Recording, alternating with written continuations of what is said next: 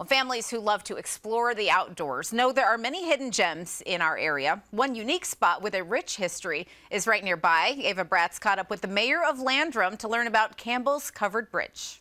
The Campbell Covered Bridge in Landrum is the last surviving covered bridge in South Carolina. The reason they covered bridges was to preserve the wood.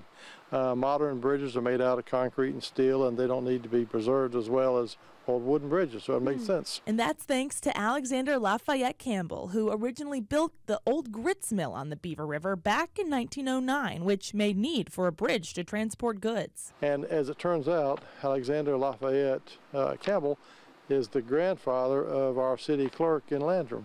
The community holds the covered bridge close to their hearts for its instrumental role in early days of commerce, and visitors don't miss an opportunity to take advantage of such rich history. Oh, lots of people come. You see people walking around here, walking the dog. Uh, on a sunny day, you'd see people down here picnicking at the tables and uh, just enjoying the scenery and the creek. So come for the bridge and stay for the views. There are hiking trails on the property as well as your next picnic spot. So the weather, the climate, the scenery, uh, we have lots of hiking trails and places to walk and picnic, and it's just a great place to be.